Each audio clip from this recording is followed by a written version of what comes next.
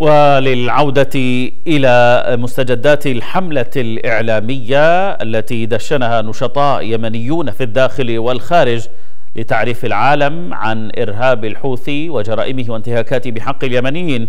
نعود إلى الزميل الصحفي خليل العمري. خليل أه، ما هي لماذا جاءت هذه الحملة وفي هذا التوقيت؟ وما هي أبرز أهدافها؟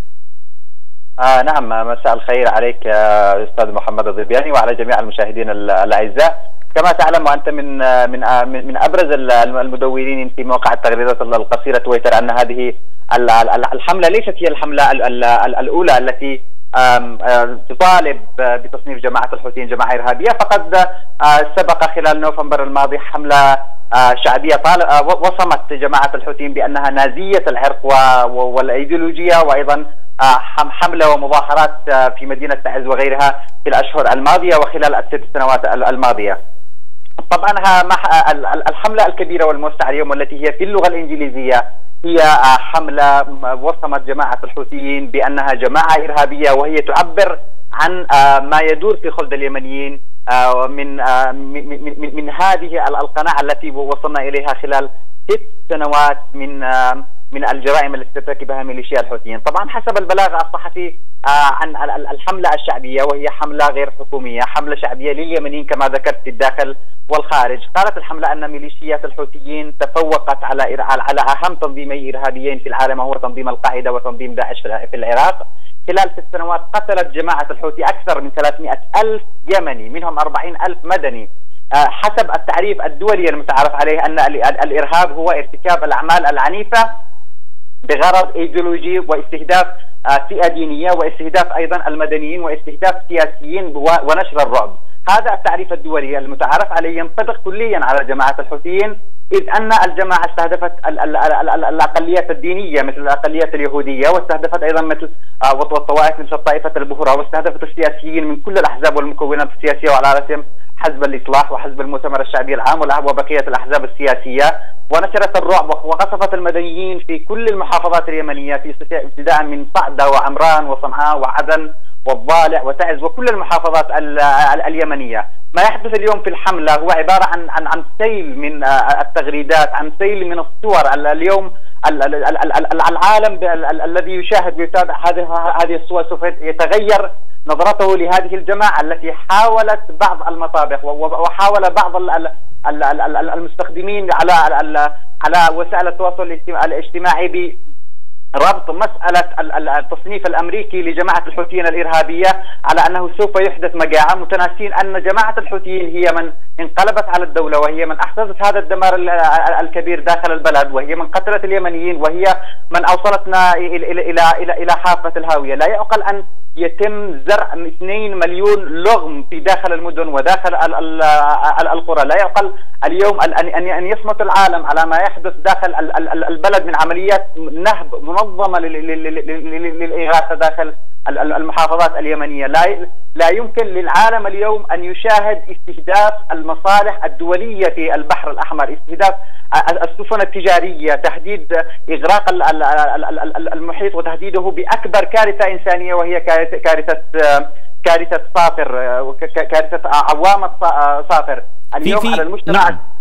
في نعم. في في ظرف آه، ساعة وصل هذا الهاشتاج إلى الترند وقبل أن نبدأ النشرة ما يقارب من ستين ألف تغريدة في أقل من ساعة هذا الكم الهائل من التغريدات الذي يحتوي على الوسائط على الفيديوهات على الصور على الأرقام على آه، برأيك كيف سيكون انعكاسات هذا الكم الهائل من الحقائق التي تؤكد إجرام الحوثي؟ كيف سيكون انعكاساتها على صناع القرار خاصة أولئك آه، في المنظمات والدول التي آه، التي وقفت أو آه، يعني وقفت ضد هذا التصنيف للميليشيا التصنيف الأمريكي للميليشيا جماعة إرهابية. نعم. أنا أعتقد أن اليمنيين جميعهم اليوم يعلمون حقيقة ما هي ماهية ميليشيا الحوثيين. لا لا أعتقد أن يمنيا واحدا من خارج السلالة أو أن يمنيا عاقلا ينظر إلى الأمور يعني بمقاييس حديثة بمقاييس الدولة وبمقاييس الأمن وبمقاييس الاستقرار والعدالة والمساواة أن يصف أو أن يمدح جماعة الحوثي بكلمة واحدة. مثل ما ذكرت هذا السيل الكبير من الصور والتقنيات والمعلومات تحت وسم واحد في وخاصة في موقع تويتر وعلى وعلى فيسبوك هو رسالة يمانية جامعة بأن جماعة الحوثيين هي بالفعل جماعة إرهابية وبأن اليمنيين جميعا أكثر من 30 مليون يمني تحت رحمة هذه الميليشيات المدعومة آه، من إيران. أنا أعتقد أنه ينبغي على الحكومة اليمنية اليوم وهي حملة شعبية اليوم ينبغي على الحكومة اليمنية في المقام الأول أن تنصت إليها. ما, آه، آه، ما تزال اليوم هناك منظمات تعمل بالداخل بتصريحات حكومية على الحكومة اليمنية أن تتقدم أو أن تعترض أو أن تقول أن هذه المنظمات هي منظمات يعني منظمات تتعاون مع ميليشيا الحوثيين. هي منظمات تعمل مع ميليشيا الحوثيين وأهدافهم الإرهابية.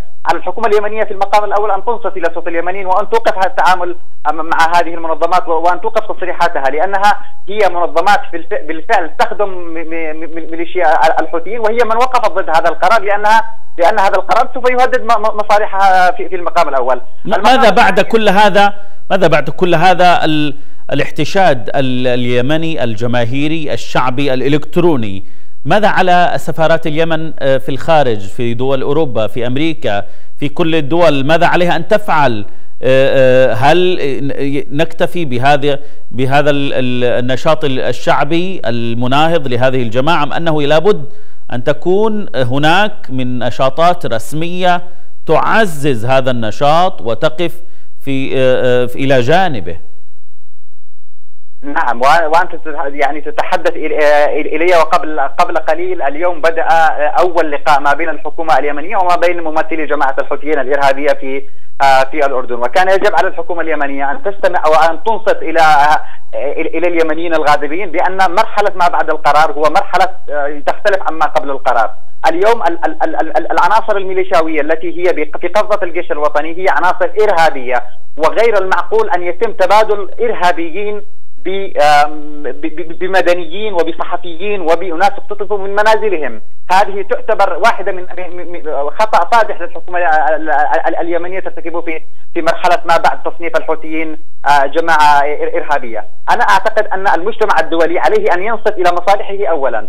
اليمنيون نحن كيمنيين آه، في المنافي وفي الداخل وفي الشتات وفي الخارج وفي وتحت سطوة الميليشيا نحن نعاني والجميع يعاني المجاعة والأمراض والأوبئة منذ ست سنوات.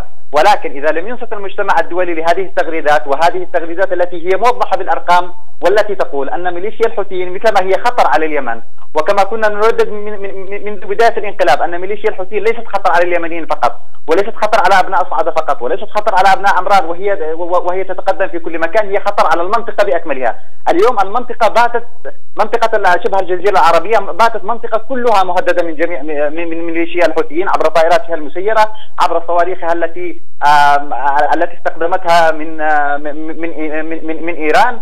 على المجتمع الدولي اليوم وخاصة المجتمع الأوروبي الذي ما يزال ليس لديه موقفا واضحا من من تصنيف الإدارة الأمريكية لميليشيا الحوثيين الجماعة الإرهابية عليه أن يعلم أن وهذا ما تريد الحملة إيصاله إليه أن ميليشيا الحوثيين لن تتوقف في اليمن فقط ولن تتوقف في شبه الجزيرة فقط هي لديها مشروع أيديولوجي مشروع مشروع شبيه بالمشروع النازي الذي لم يتوقف عند ألمانيا فقط ولم يتوقف عند أوروبا فقط وإنما اكتسح نعم. القارة بأكملها آه، هذا المشروع سوف يهدد ويضرب المصالح الأوروبية وإذا أراد الأوروبيون أن يحموا مصالحهم فعليهم أن يقفوا مع القرار الأمريكي الذي صنف ميليشيا الحوثيين الجماعة الإرهابية واليمنيون نعم. اليوم ينادون بصوت مرتفع أن عليهم أن آه، ينصتوا لكل هذه الأرقام في مواقع التواصل الاجتماعي. الزميل الصحفي خليل مثنى العمري محرر موقع رأي اليمن. كنت معنا شكرا جزيلا لك.